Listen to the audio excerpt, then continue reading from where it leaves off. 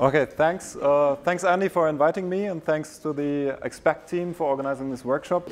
So um, I want to use the opportunity to advertise this website. Um, here you find an uh, edited collection of open access papers on philosophy and predictive processing. The authors include Andy Clark, Michael Anderson, and uh, Jakob Hohwy, and many other authors.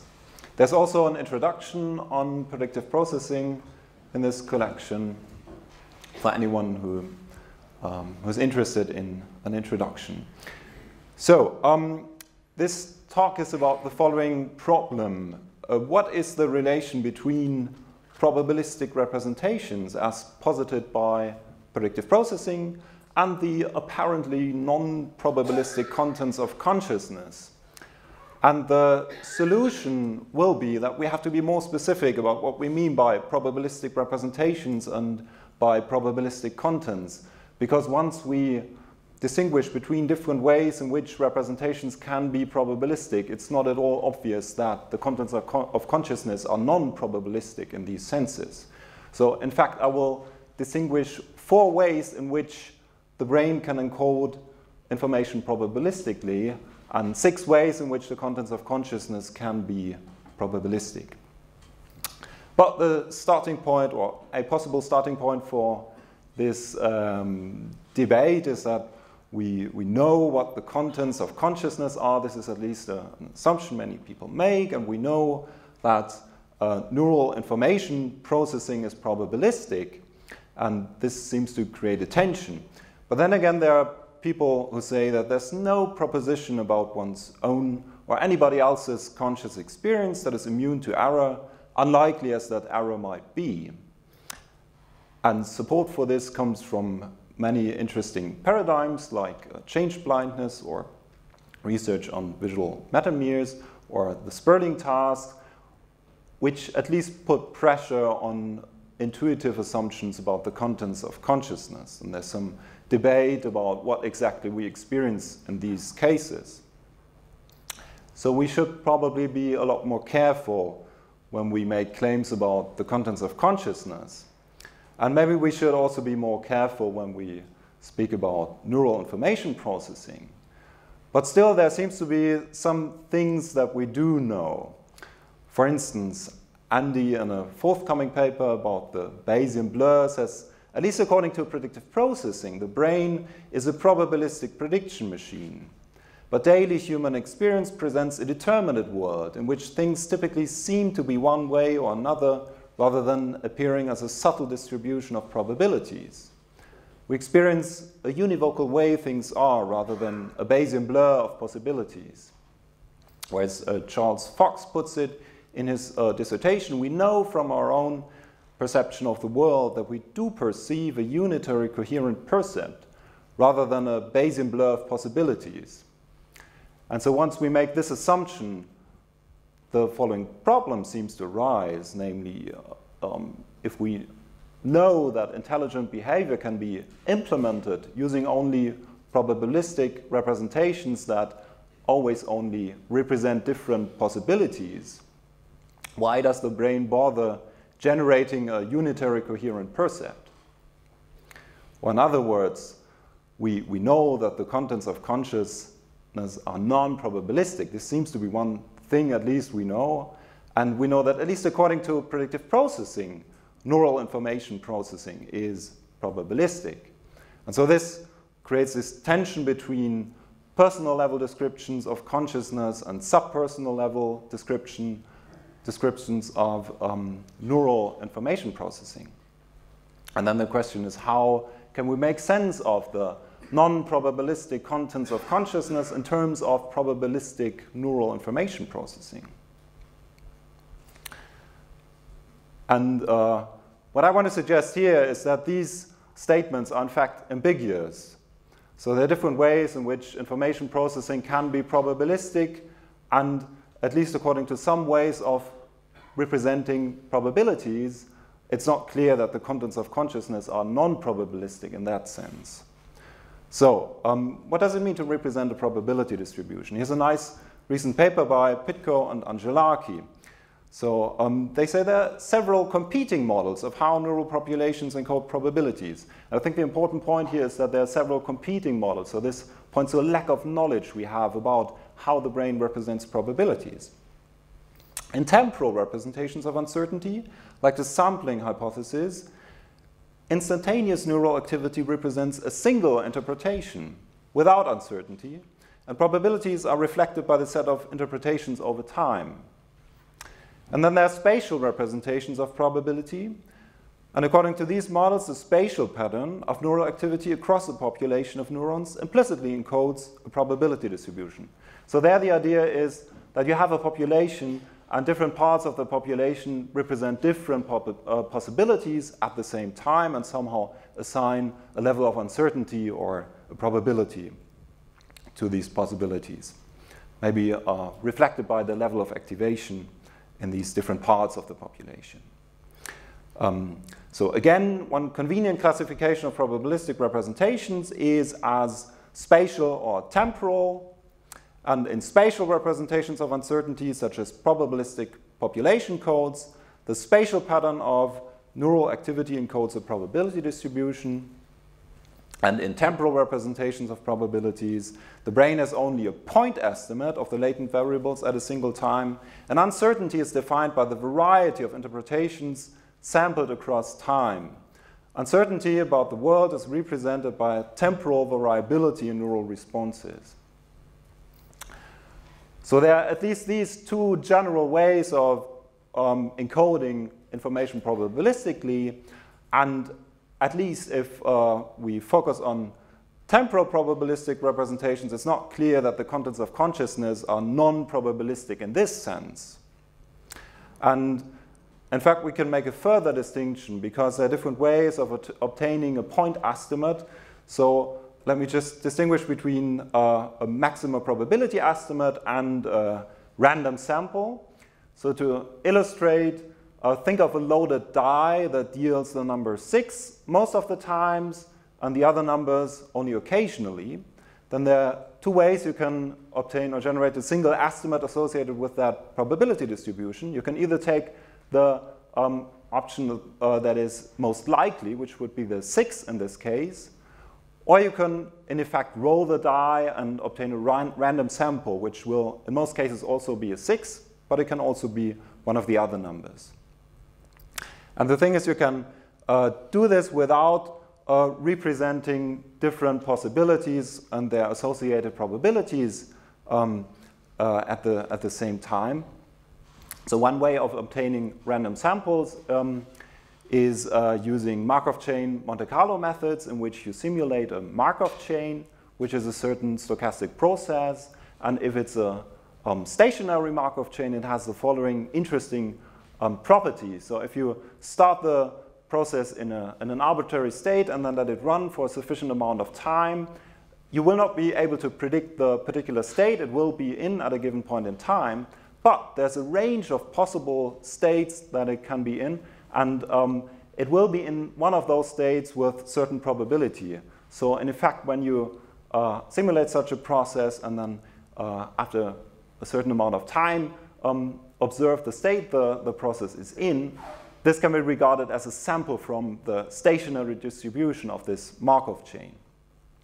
And you can also generate a maximum probability estimate without representing different possibilities along with their um, associated pro uh, probabilities. Uh, for instance, if you're interested in the mean of a normal distribution, you just uh, generate an estimate of the mean, and then you can take repeated samples and uh, update your estimate of this mean without having to represent different uh, possibilities or different probabilities at any time. So, so much for temporal probabilistic representations. And in fact, you can also uh, make uh, a distinction among spatial probabilistic representations because the mere fact that at some point the brain uses uh, or may use spatial probabilistic representations doesn't mean that it doesn't use um, yeah, a reduced form or deterministic representation as well. So in fact, if you have such a um, spatial probabilistic representation, you can uh, apply a deterministic reduction and then just generate a single or um, uh, compute a single um, possibility from this um, uh, distribution, or you can have that without a deterministic reduction. So these are just four very general ways of um, describing probabilistic representations. And um, we don't know which or um, how many of these possibles are realized in the brain. It's an open question, and I call this the probability conundrum. It's uh, the, the problem that we don't know how probabilistic inference is implemented in the brain. But from a philosophical point of view, this is not, a, not such a, a big problem we, because we can just um, consider different uh, possible ways in which the brain can encode probabilities and then um, hypothesize what this could tell us about the contents of consciousness. Because specific hypotheses about neural encoding of probabilistic information allow more specific hypotheses about the contents of consciousness. Or, in other words, we can ask what would the contents of consciousness be like if they were probabilistic in certain ways? So, this is similar to this uh, nice question by Michael Madary how would the world look if it looked as, a, as if it were encoded as an intertwined set of probability distributions? And in fact, I think we can distinguish between um, six options. So we'll go through them one by one and what follows.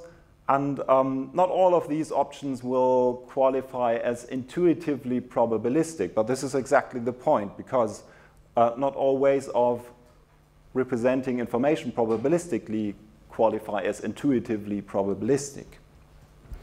The first option is what I guess most people think of when they say that consciousness is probabilistic or that it's non-probabilistic. This is a probabilistic blur. Two or more different mutually inconsistent possibilities are experienced at the same time. Now, are there any examples of this? Um, one could point maybe to illusions like the waterfall illusion in which some part of space seems to be moving, but at the same time seems to be stationary, or maybe Paul Churchland's impossible color sensations are an example in which you uh, have, for instance, um, an experience as of a dark blue that is darker than any blue you've ever seen, but yet not black. But I guess to, this, to these examples, one could object that even if they present us with different inconsistent possibilities, there are no uncertainties associated with these possibilities or no probabilities. So maybe a better example would be what John Morrison calls perceptual confidence. And this is the idea that uh, conscious experiences assign different degrees of confidence to different possibilities. So when our experiences assign less than full confidence. They assign confidence to at least one other possibility. In simple cases, our experiences assign confidence to a possibility and its negation, like that the light is on and that the light is off. Um, I'm actually not sure whether there, there's more than one person who believes this. So I'm, I'm really curious. Um, um, how many of you find this plausible that conscious experience or perceptual experience assigns degrees of confidence to different possibilities? Could you please raise your hand if you find this plausible? Okay, good. Um, and now we can ask, to what extent is this compatible or supported by different ways of encoding information probabilistically? It's obviously supported by spatial probabilistic representations without deterministic reduction, because then you have representations of different possibilities. It doesn't mean that it conclusively shows that this is the case, but at least it's uh, to some extent supported by this. If, if there's a, the brain, in fact, uh, represents probabilities in this spatial sense. It's had uh, is less supported if there's an additional deterministic reduction, because then one could say, well, maybe this final deterministic representation is what determines the contents of consciousness and not the spatial probabilistic representation. And it's not consistent with temporal probabilistic representations because then uh, you never represent different possibilities in the first place.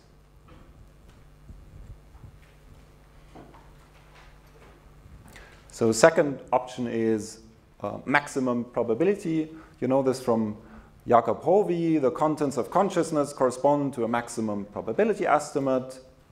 In his words, conscious perception is determined by the prediction or hypothesis with the highest overall posterior probability. This is uh, supported by temporal probabilistic representations with a maximum probability estimate. It's not supported if uh, there's a random sample because it's then, then it's not necessarily the one with the highest overall probability. And uh, it's compatible with spatial probabilistic representations in which you then have a deterministic reduction. And it's less supported by spatial probabilistic representations without deterministic reduction. Then there's a further option that is a bit similar to this. Um, Contents of consciousness correspond to samples drawn from an internally represented probability distribution. So this has recently been suggested by Gross and Flombaum. They say a natural thought is to associate phenomenology not directly with the memory store containing probabilistic representations, but with the discrete representations sampled therefrom. So their idea is that maybe at some point there's a spatial probabilistic representations of different possibilities, and then what is consciously experienced is a random sample from this distribution. Now, in principle, it's also compatible with uh, certain temporal probabilistic representations. And of course, it's uh, um, especially supported by spatial probabilistic representations with a deterministic reduction and is less supported by spatial probabilistic representations without deterministic reduction. Um, then there's a more specific form of sampling, um, and it's the following whether or not information is consciously experienced can be conceived as a probabilistic choice. So in the previous uh, form of sampling, the idea is that how things are experienced depends on a sample that is drawn from a distribution. And here the idea is that whether or not something is experienced depends on something like the throw of a, of a coin. So this has been um, suggested by Asplund and colleagues in the context of the attentional blink task. They say conscious perception emerges in a quantal manner with attention serving to modulate the probability that representations reach awareness. So I guess the idea is that um, whether or not something is experienced uh, is uh, yeah de depends on something like the throw of a coin, and then you can um, bias this coin by assigning attention to, let's say, certain parts of the visual field, which uh, raises the probability that something that is there is then actually consciously experienced. Um, so this wouldn't be compatible with the maximum probability estimate version of the temporal probabilistic representation option. Uh, it's compatible with the random sample version. It's also compatible with the deterministic reduction version of the spatial probabilistic representation uh, option. And it's less supported by um, spatial probabilistic representations without deterministic reduction. Um, then there's a fifth possibility, counterfactuals. Um, when we conscious, consciously perceive an object, we not only experience its perspectival properties, but also counterfactual properties. So the example would be, the classic example would be the tomato. We not only perceive the surface of the tomato, but somehow also its object hood. And one way to cash this out is um, in terms of uh, the contents of counterfactual generative models that represent how um, sensory signals would change if certain movements or certain behaviors were uh, implemented. And if I um, for instance, were to change my visual perspective on the tomato in certain ways. Now, uh, I'm not sure how to evaluate this proposal because it's, I think it's not clear how explicitly these counterfactual possibilities have to be represented. Or maybe Anil can give us an update on counterfactual models in the discussion. And maybe Carl will also say something about that in his talk. Okay, so um, let's come to the final option, indeterminacy. Um, here the idea is that perceptual experiences can have different degrees of determinacy. And this uh, has been proposed by Michael Madary, but also by Bence Nanay. And his claim is that nothing in the bidirectional hierarchical models of brain function uh, functions implies the perceptual, that perceptual representations are probabilistic. He says there's a much more parsimonious way of describing the representations in the bidirectional hierarchical model of brain functions. They attribute properties to objects or to the perceived scene that are not fully determinate. So I guess when he says um, that the representations are not probabilistic, I think what he has in mind is this uh, spatial notion of probabilistic representations in which different possibilities are represented and um, he suggests that um, instead uh, the, the contents are um, properties that um, are not fully determinate. So this would be compatible with uh, temporal probabilistic representations. It's um, would also be compatible with uh, spatial probabilistic representations with deterministic reduction. And it's less supported by spatial probabilistic representations without deterministic reduction. So we can summarize this in a table here. On the left are the different options regarding the contents of consciousness, or the different ways in which consciousness can be probabilistic or in which the generation of consciousness can be probabilistic. And here are the four ways of representing information probabilistically that I've distinguished. And we get the following picture. And um, so what we see here that is that there's only one option according to which the, or, or which directly supports the probabilistic blur um, um, option. So in fact, if most or all um, representations in the brain are, at, are only probabilistic in one of these other senses, then this threat of the Bayesian blur doesn't um, uh, doesn't appear in the first place. And um, on the other hand, if there are only spatial probabilistic representations without deterministic reduction, this puts a lot of pressure on these other options regarding the contents of consciousness. Now, um, this I, I think already looks kind of complicated and things are, I guess, even more complicated because it's not clear which of these options is uh, implemented in the brain and maybe all of them are um, to, um, in, in, in, different areas. So I think there are a lot of um, open questions.